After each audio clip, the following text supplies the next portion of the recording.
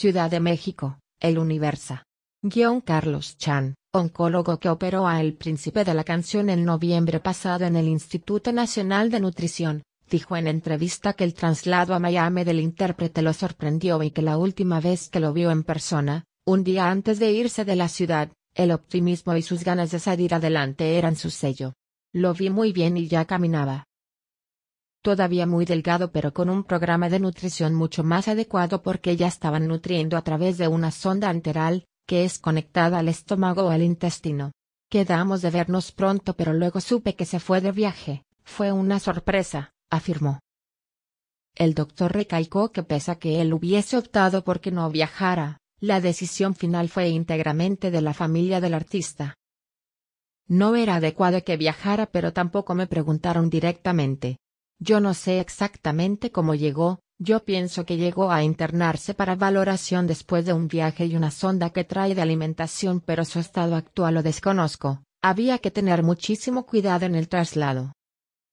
Estaba bajo cuidado y con varias citas en el hospital, yo lo vi en su casa el lunes, un día antes de que se fuera y no sé quién firmado la responsiva, quién la habrá tomado. De nuestra parte no hubo ninguna, nosotros no sabíamos, aclaró. Chan indicó que la alegría del intérprete del triste es algo que ha mantenido a lo largo de este proceso. Es una persona con un optimismo impresionante, con la sonrisa que lo caracteriza y siempre tuvo buenas atenciones. Es un gran paciente.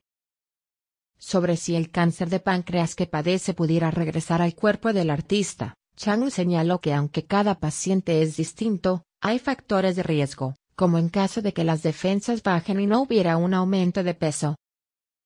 Después de la radioterapia y quimioterapia se hizo una operación con intento de erradicar el tumor, pero sinceramente es difícil la curación completa. En este tipo de cáncer, la recurrencia es más la regla que la excepción. La cirugía les da más tiempo antes de esta recurrencia y podrían pasar años antes de que regresara pero es muy variable. A unos les regresa muy pronto y en un estado de debilidad y baja de defensas, por supuesto que es un riesgo. El cantante fue trasladado el miércoles al hospital de Miami, de acuerdo con un comunicado de prensa emitido por la familia a través del Departamento de Relaciones Públicas de Coral Gables Hospital, en donde, se dijo, pidió privacidad. Guión Humberto Montoya o